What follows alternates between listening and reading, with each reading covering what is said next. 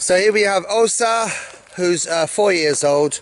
She came in uh, two weeks ago, hace dos semanas ha llegado, tiene cuatro años, se llama Osa.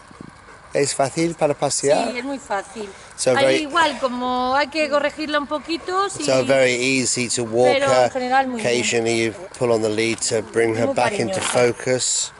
But she looks like a lovely girl. Muy buena, ¿no? Sí, muy buena. Ha llegado con otro perro, no, sé, no sabemos si es de la misma casa o solamente han juntado por la calle, pero es muy buena. Ok, Osa.